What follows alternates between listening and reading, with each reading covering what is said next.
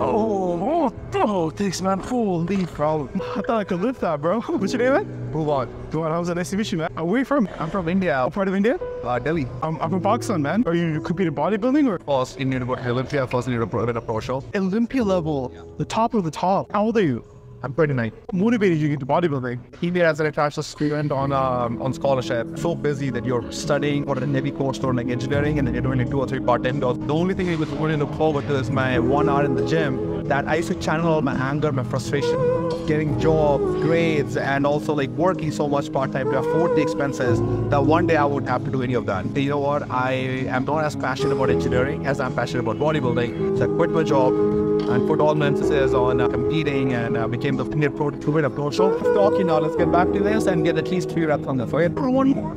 You got it. Come on, let's go. Cool. In the mind, you gotta believe it to achieve it.